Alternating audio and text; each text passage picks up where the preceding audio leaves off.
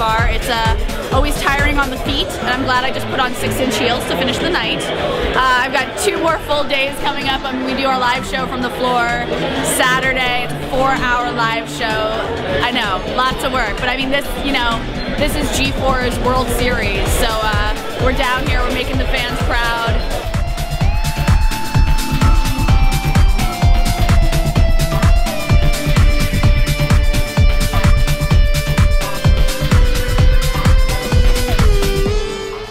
pretty cool.